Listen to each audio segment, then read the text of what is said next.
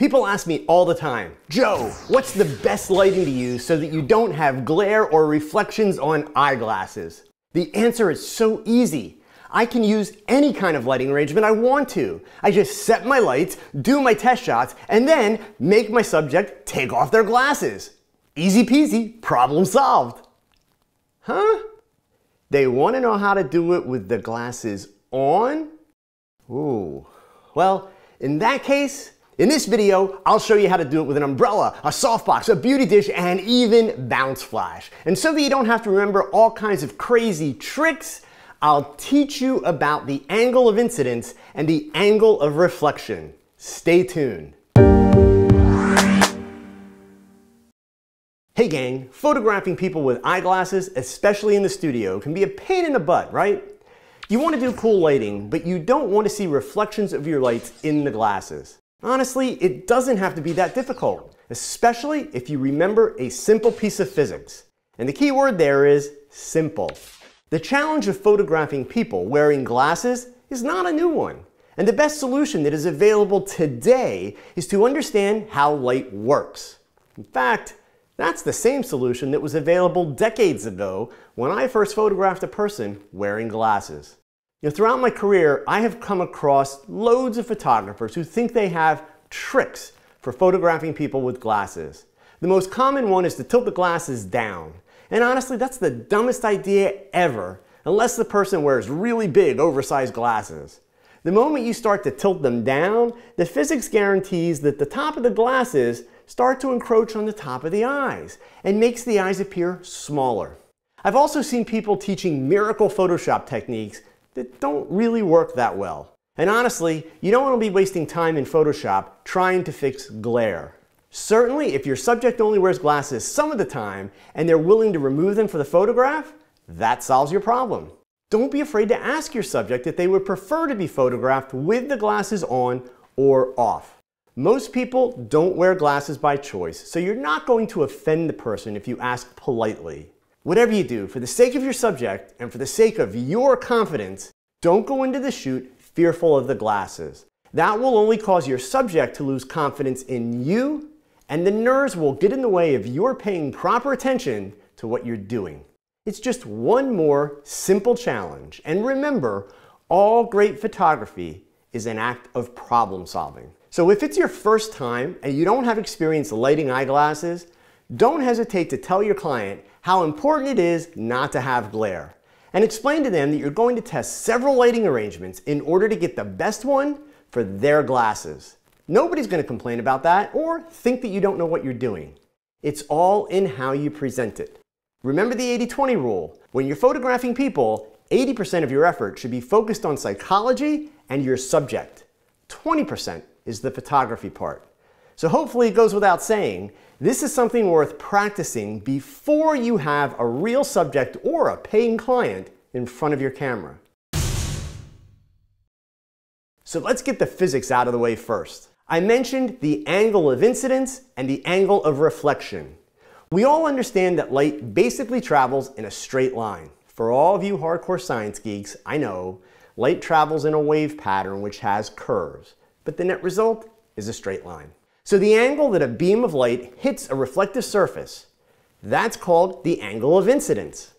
The angle of incidence determines the angle that the light will reflect away from the surface. That's called the angle of reflection. The angle of reflection will always be the same as the angle of incidence. All of this means that light is fairly predictable. So as long as you remember this one simple rule of physics, you'll always be able to keep your camera out of the reflected light when you're photographing someone with glasses. Now hopefully you've already figured out that this little physics tidbit will help you with more than just eyeglasses. Pretty much any reflective surface, mirrors, stainless steel, glass, windows, they're all going to reflect light the same way. So the solution is to make sure that the angle of the light hitting your subject is different from the angle that you are photographing them at so that the reflected light misses you completely. That sounds pretty simple, right? Actually, it is. The real challenge comes in the fact that most eyeglasses are not flat surfaces. They're curved. So you will actually have several angles of reflection for every light source. So let's put this into practice and see how we solve the problem without tricks and without Photoshop. One solution is to use broad lighting as opposed to short lighting. Now in case you're not sure what that is, broad lighting is when you light the side of the face that is closer to the camera. And short lighting is when you light the side of the face that is further away from the camera. Broad lighting will generally have better results with eyeglasses because the angle of reflection is traveling away from you and your camera. Short lighting is much harder to use because it places your camera right in the path of the angle of reflection. Now if you're like me and you shoot lots of images straight on, using the angles of incidence, I can place my light at a height that will cause the angle of reflection to miss my camera lens. You can see here with the light right next to and just above the camera, I get a horrible reflection in the glasses. If I move the light much higher, the reflection is completely eliminated. Or if I move it more to the side for a dramatic effect, I also eliminate the reflection. I can even add a second light using the same principles. Two lights next to the camera, two reflections. Move them high or move them wide, and the reflections are gone. In this setup, I have a LumoPro 180R with a LumoPro umbrella set at about 55 inches high, just above my subject on camera left. For reference, there's also a second LumoPro 180R on a mini boom arm above and slightly behind my subject for a hair light. You can see that the reflections in the glasses are unacceptable. By moving the strobe up to 74 inches, I've eliminated the glare in the glasses.